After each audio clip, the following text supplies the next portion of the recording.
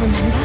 Then have you forgotten that you protected me from the dragon's flames? You need only believe in your own destiny, Arisen. Of course, that begs the question.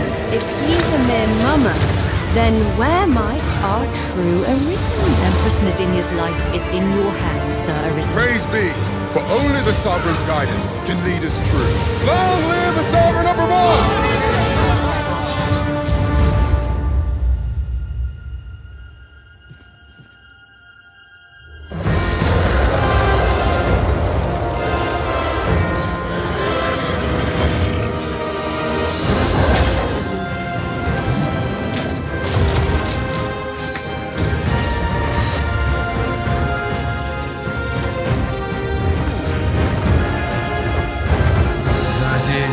most unfortunate, but it doth not release thee.